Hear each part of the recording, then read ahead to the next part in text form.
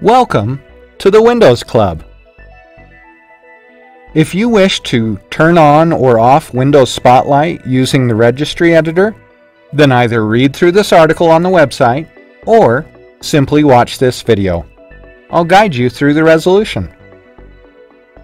First, press the Windows key and the R button to open the Run window. Then type the command REG ED IT and hit enter to open the registry editor window. Now go to the registry editor path, H key current user, software, policies, Microsoft, Windows, Cloud Content.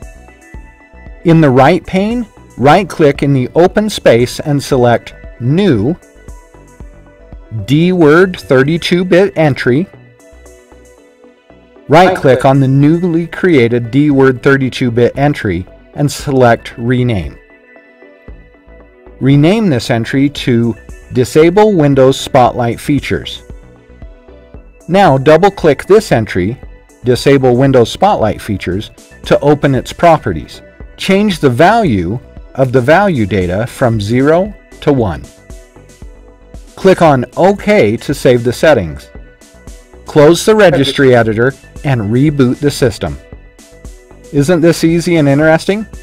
If you have any questions, please go to the original article on the Windows Club website and write your question. We'll be happy to answer it.